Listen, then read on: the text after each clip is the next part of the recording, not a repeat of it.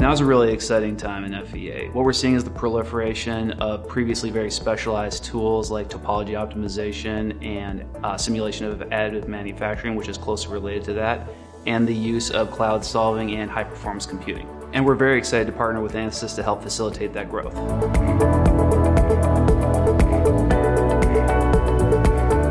The combination of those solutions means a higher quality, more efficient design and overall faster time to market for our customers. What it really all comes down to is that the use of finite element analysis really results in greater innovation, um, less waste, and a higher degree of confidence in what our customers produce.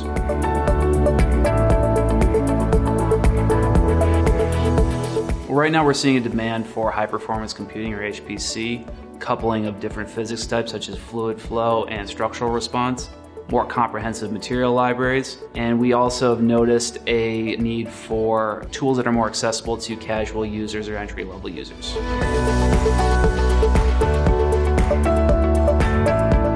Right now, the biggest pain points we're seeing with our customers are a lack of in-house expertise, the time it takes to get a new user up to speed, and just staying proficient with the massive number of products included in the Ansys portfolio.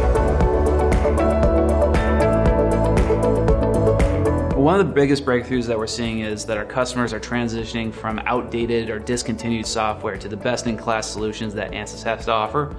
And by partnering with RAND Simulation, our customers are bringing their product visions to reality through our collaborative consulting services.